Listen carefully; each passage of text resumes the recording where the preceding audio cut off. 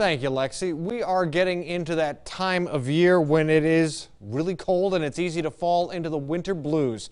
In this week's Minute with Drexel, News 5's Drexel Gilbert wants to help you fight through those cold weather blues by sharing some of her strategies, which include singing. Hey, y'all. Cold enough for you?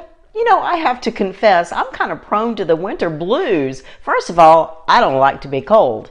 Secondly, it seems like we've entered into this kind of a weather wasteland. You know, the prettiness of December is gone and the beauty of spring, gosh, it just seems so far away.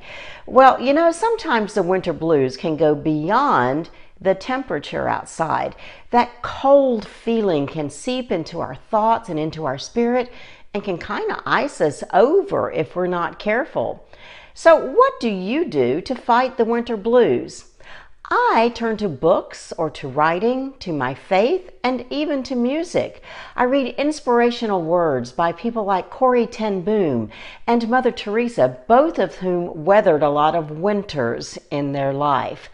I also write my own words of what I hope are encouragement for you. I turn to my faith and I pray. I pray with a spirit of gratitude for whatever day God decides to gift me with, even if it's a cold and dreary day. And I sing. Not very well, mind you, but singing kind of takes my mind off. I don't know, the dreariness of the moment and the weather, and also lifts my spirit into a sunnier and warmer place. One of my favorite things to sing is a hymn by Natalie Sleeth. It's called Hymn of Promise, and my favorite lines come in the first stanza. In the cold and snow of winter, there's a spring that waits to be unrevealed until its season, something God alone can see. If you are cold on this day, not just in your body, but in your spirit, I encourage you to hold on. Winter won't last forever. Spring is coming.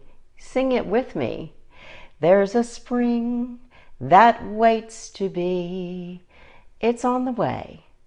God can see it, even if you can't right now. And that's your Minute with Drexel.